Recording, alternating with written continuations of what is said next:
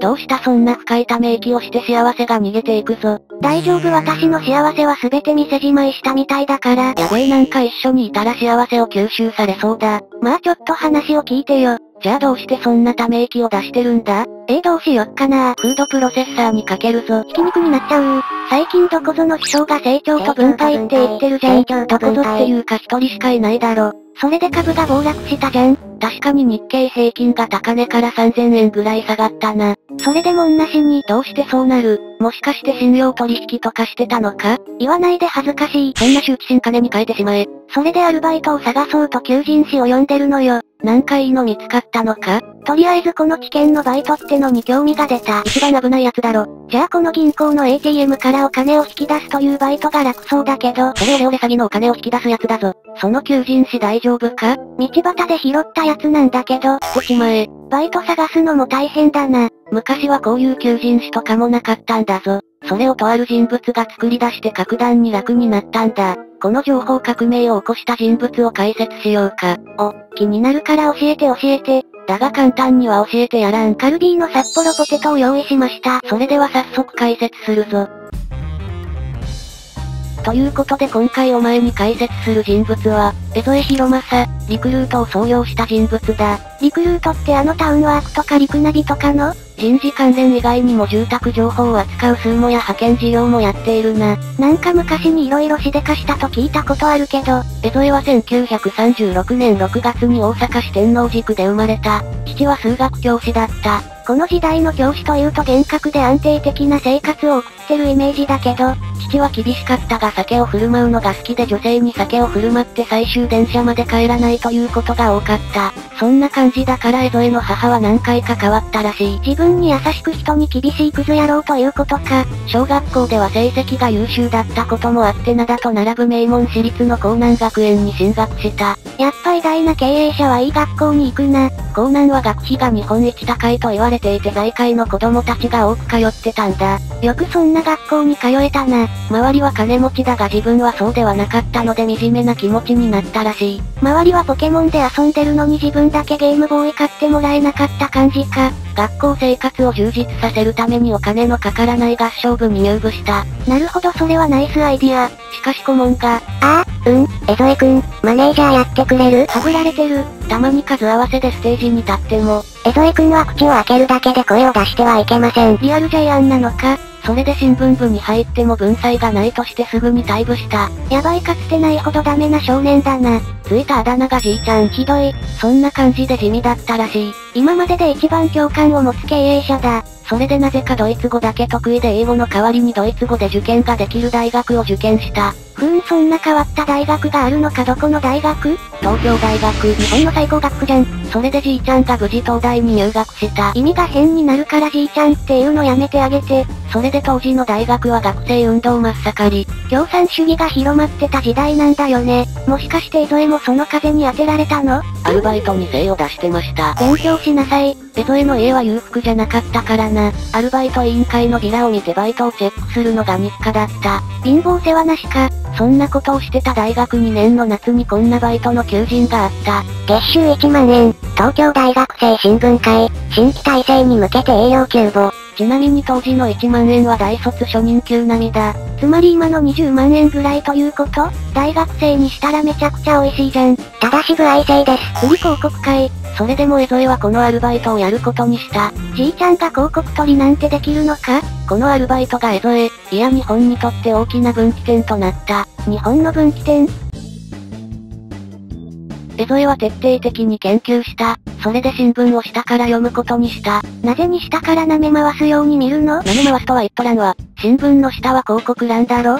それを研究するのか？それで予備校の広告を掲載した。え？東大の学生新聞に予備校？そんなもん誰が見るの？当時の東大受験号には合格者の名前が掲載される。名前を出すって個人情報がダダ漏れの時代ならではだな。受験生がそれを購入して不合格者は悔しがる。それで次にするのはなんだ？この世すべてを憎む破滅主義はやめろ。予備校を考えるだろ。そうか、まだ予備校を契約してないもんね。さらに合格者には年間購読を促すんだ。おお、ということは新聞の収入が安定する。その後医学部100周年で医療関係の広告を集めた結果、集まりすぎて載せられなかったので3ヶ月にわたって特集を組んだ。学生新聞で何してるんだ次の広告を検討していた時学部の掲示板で目についたのが会社説明会のビラだった。東大の学生が読む新聞に広告を出せればピンポイントで東大生が釣れるね。ちょっと言い方を変えろ。それで磯江は証券会社を中心に攻めた。なんで証券会社を？当時証券会社が伸びていたが銀行などに比べたら格が落ちていて東大卒は来ないと思われていた。これでアホな東大生が釣れる可能性が出ると。言い方これは需要がありそう。人気となって企業は次々と広告を出すようになった。しかし通常の広告枠は限られてしまう。新聞が広告だらけだったら読まなくなるもんね。就職特集号を出して学生向け面接方法などの情報を載せつつ広告ページをたっぷり載せた。もういかに広告を載せるかの勝負になってるな。これまた学生に大人気だった。面接の仕方とかそういう情報が不足してたからか。そんな感じで学生新聞を伸ばし続けたら部合制の江戸への月収は20万円近くなった。大卒の給料が1万円の時代に稼ぎすぎだろ。求人広告の仕事が忙しすぎて就活を忘れて留年した。その一方で企業からは東大だけじゃなくて他の大学新聞にも載せてくれと依頼が来た。いやいや東大の学生新聞でしょ？それで磯江は、あ、月給1万円とかやってられないわ。大学新聞で食ってくことにするわ。慣れた仕事で気が楽だし時間もあまり拘束されないし。それで1960年4月に江戸江は個人商店として大学新聞広告社を立ち上げた。これが後のリクルートだ。過去最高にグダグダした企業理由だな。このグダグダした企業が日本の人事を変えるんだ。マジで？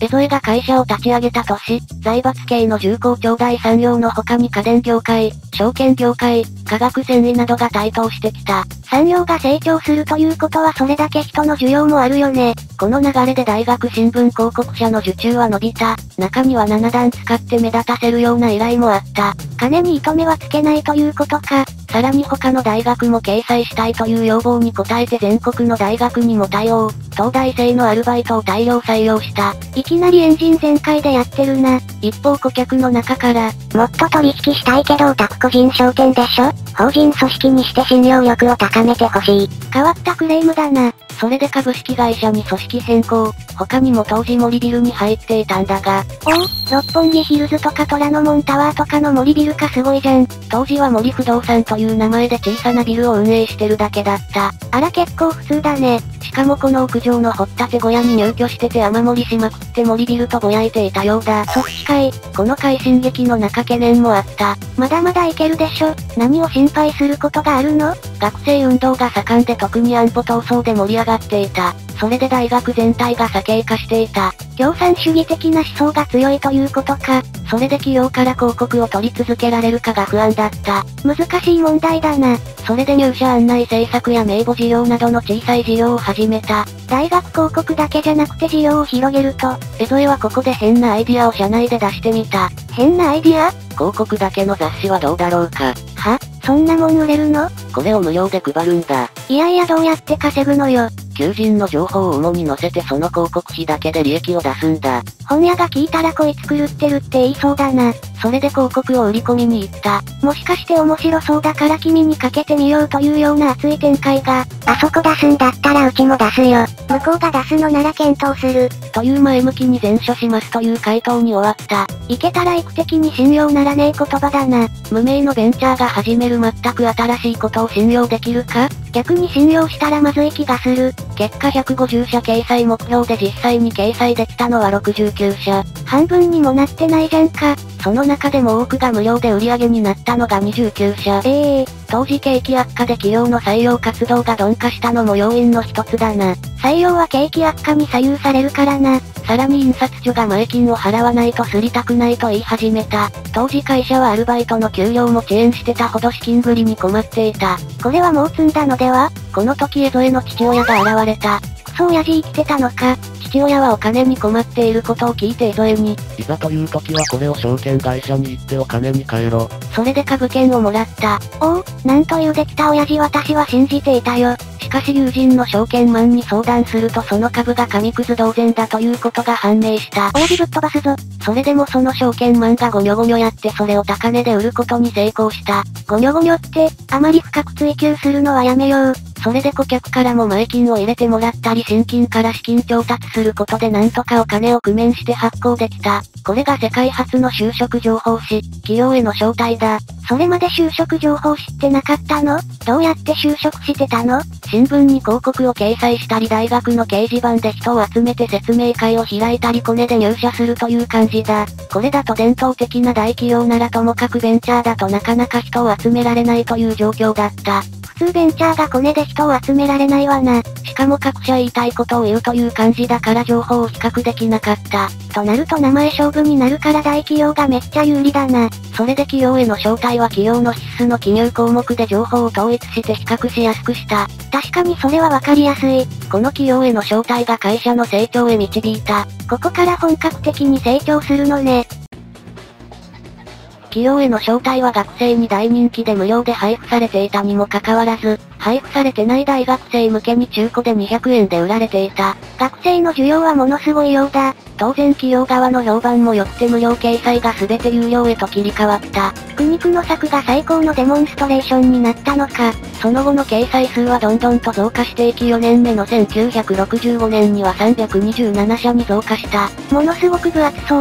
63年に社名を日本リクルートメントセンターに変更した。大学広告との決別を表してるのかな？企業側は応募の学生が増加してマンパワーが不足していた。今まではコネで入ってきたけど急にやることが増えたな。それで採用者から適正検査をやってほしいという要望が上がった。ああなんか就活の時にやらされる心理テストみたいなやつだよね。それまで適正検査は内田クレペリン検査という方法が使われていた。怪しい投資情報を発信してそうな名前だな。いろんなところに喧嘩を売るな。これは戦前からあるものだったが東大で教育心理を学んでいた江添は効果に疑問を持った。じゃあ仕事を断ろうか。それで江添は独自に適正検査を開発することにした。まさかの自作 ?63 年に適正検査の販売を開始。クレペリン検査が3円に対して開発した適正検査は500円で販売した。高すぎるだろというかクレペリンが安すぎるのか？この事業は企業に大人気でその後もどんどんと進化して現在では SPI 検査という名前だ。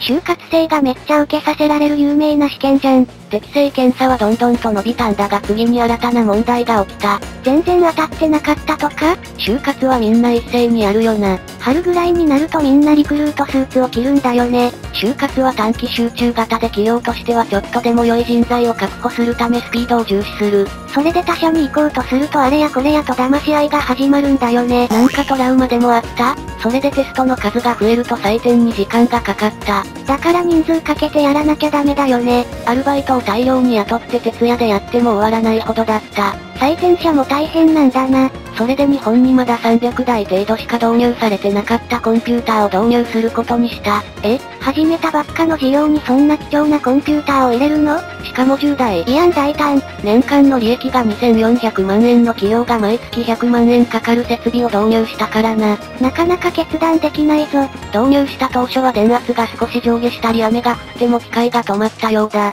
わがまますぎる。それで蹴飛ばして動かしたようだ。貴重なコンピューターを蹴飛ばすな。リクルートは研修や人材紹介、派遣業など人事関連で多角化して日本株式の人事部になりたいと語った。夢が壮大すぎる。急成長をしていたリクルートは事務所を拡張し続けていて何回も引っ越しをしていた。事務所を借りるのも大変だな。高い賃料を払い続けるのももったいないと思い72年に11億円をかけて日清橋に自社ビルを建設した。わずか10年でビルまで建てちゃうのか。5億円で入手した土地はすぐに15億円に値上がりした。ということはビルで儲かっちゃったってことじゃん。これで不動産の強さに気づいて不動産事業を開始した。フットワークが軽すぎる。それで宅建を持っている社員が総務部にいると聞いてその社員に新規事業を立ち上げさせて社名も決めさせた。もはや暴挙と言っていいレベルではそれでできたのが環境開発、千葉県の行徳にマンションを建設して完売させた。そこから次々とマンション開発を行ったんだ。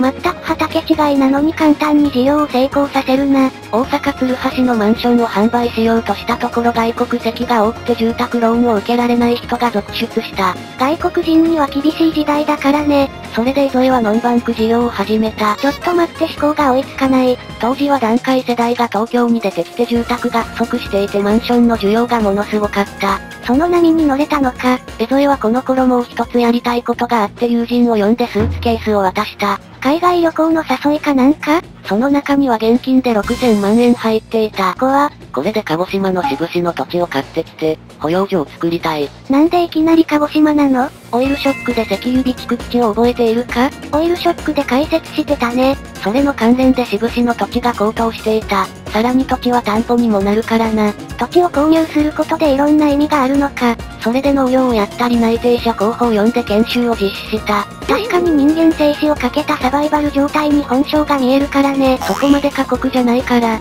13万坪の土地を確保したが江添はもっと大きな土地を求めた。ディズニーランド並みに広いのにまだ広さを求めるのか。78年に岩手県八幡平市のアップ高原に宿泊施設ゴルフ場テニスコートアーチェリー場などを完備した研修施設、優雅森レックを開発した。なんだそのテーマパークみたいな研修施設。さらに時代はリゾートブーム、リゾート開発を始めてアップ高原スキー場も開業した。リゾートに手を出すのは不安しかないんだが、分譲のコンドミニアムを建設して販売、サブリースでリクルートが管理して使ってない時は一般客に貸し出した。ということはすぐに回収できて継続的な収益が見込める。アップ高原スキー場は全国で3番目の集客を誇る人気スキー場となった。人事だけでなくていろんなことで成功しているな。江添は神奈川の逗子に住んでいた。えらい遠くから通ってたんだな。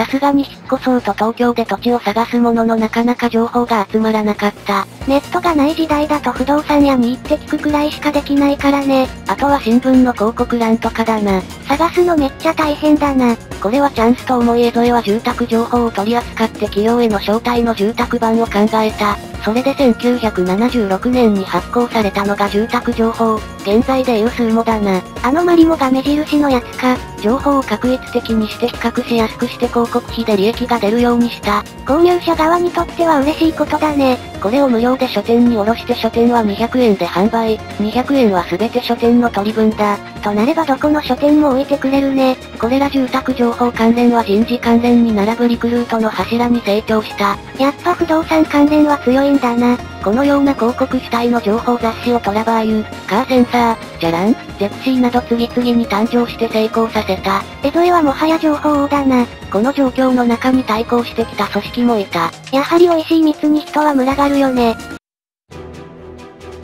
まず現れたのが経済ビジネス系雑誌の老舗ダイヤモンド社。あのデカ文字表紙のダイヤモンドか。経済が停滞気味だった1966年にダイヤモンドが就職情報誌に進出することになった。まだできて間もない頃じゃん。それで糸井はダイヤモンドの本社に向かった。なぜ敵の本拠地に、もしかしてかっこよく単価を切りに行ったのかお願いですから発行するのやめてくれませんかお願いですうち死んじゃいます。と懇願した。ほださすぎる。ダイヤモンドは当然拒否。それで磯江は社内に対して、2位になることは我々にとって死だ。これ以降リクルートは和気あいあいだった空気が一変して戦闘集団に変わった。漫画タイムキララからヤンマガに変わった感じ？どういう例え？その後就職ガイドブック市場はリクルートが圧倒的強さを誇っている。老舗がなんぼのもんじゃいって感じだな。次に出てきたのは日本最大の発行部数を誇る新聞社、読売新聞。なぜに読売新聞が出てきたの？住宅情報以前不動産業界の広告は新聞などに売っていた。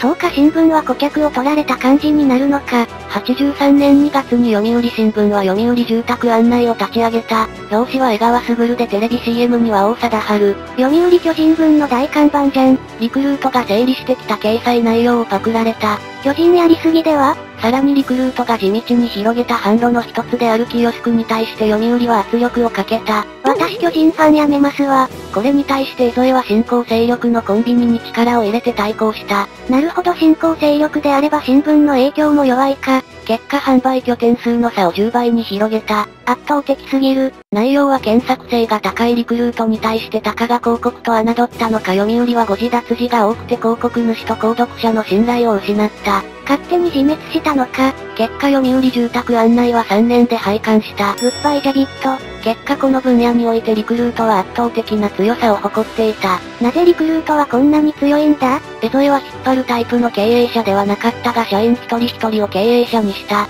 モチベーションアップの時によく言うやつでしょ？江添は口だけにしなかった。従業員に持ち株を推奨させて利益は社員に還元、税引き後利益の4割を賞与に反映すると規定に明文化した。さらに事業部制を導入、権限を与えて採用は事業部長に任せて社内全体の利益より自部門の利益を尊重させた。権限もらってインセンティブまで入るんだったら経営者と言えるわ。さらに能力主義で差別をしなかった。外国籍でも能力があればチャンスを与えた。女性もお茶組ことぶき大社が当たり前の時代に区別なく仕事を任せた。住宅情報の編集長は女性だったからな。リクルートってトラバーユやゼクシーなんかの女性向けが強いイメージがあるな。江添が工場を持たないリクルートで最も重要視していたのが人だ。確かに人は重要だよね。採用にもお金を使い教育にも法外なお金を使った。新規事業に進出するため最も採用が難しいと言われる東大工学部を集めようとした。普通大企業の研究部門とかに行くのでは？それをひっくり返すため寿司屋の2階を3ヶ月貸し切りにして勧誘していた。情熱がヤバすぎる。その他に70億円のスーパーコンピューターを購入して工学部の興味を集めようと思ったり、1人当たり600万円、それが1000人で合計60億円の採用費をかけたことも。こいつ狂ってやがる。というかリクルートがそんなに東大工学部を集めて何をやるの？江添は情報に対して価値があると見出して大きな付加価値をつけた。それで情報誌で成功したんだよね。江添は紙媒体からニューメディア、コンピューター通信の時代が来ると睨んだ。それで83年に不動産の店頭から物件情報を見られるシステムを開発した。え？まだインターネット普及前のことだよね。その他にも第二電電に参画しようとしたり通信回線の卸売りも始めた。第二電電って KDDI だよね。リクルートは85年にコンピューターレンタル事業も始めた。何パソコンでも貸すの？コンピューターを日本、イギリス、アメリカでネットワークで繋ぐ。使われてない深夜のイギリスのサーバーを日中の東京向けに貸し出す。電力が安く済んで使用効率が上がるということだ。ちょい待て、それって AWS や Azure なんかのクラウドじゃん。それを85年からやってたの？その通り。どれだけ未来を見通してたんだ？これが江添博正だ。江添のビジョンとリクルートの組織的強さ、情報という強みもあるしこや快進撃が続きそう。しかしこの快進撃は突然終わった。え？何が起きたのもはや敵なし状態じゃん。1988年にリクルート事件が起きた。リクルートって最初そっちの方で名前を聞いたわ。ロッキード事件と並ぶ戦後最大の汚職事件と言われて政府、官僚、マスコミを揺るがして大きな話題になった。一体何があったんだ？これを喋ると動画1本分になりそうだからまたの機会な。うっす、消費税導入もありマスコミや世間は江添に対してバッシングをした。そうかこの頃消費税が始まったのか。それで江添はリクルートの会長職を辞任した。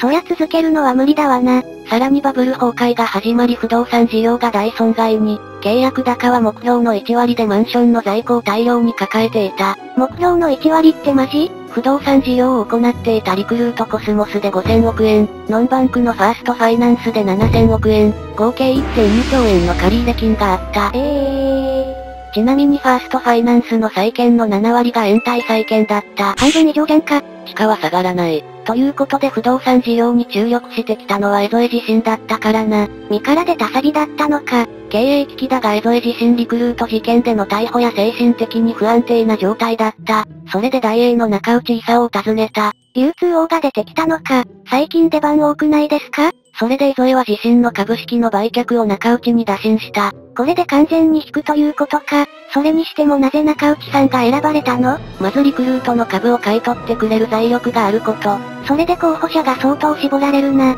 さらに経営陣を残すことを約束してくれたので中内に売却を決めた。中内は値段も聞かずに即決したそうだ。鱗滝さんもびっくりな判断の速さだな。それで自身の株式を1%を残して売却して江添はリクルートの特別顧問として就任。買取額は454億円だ。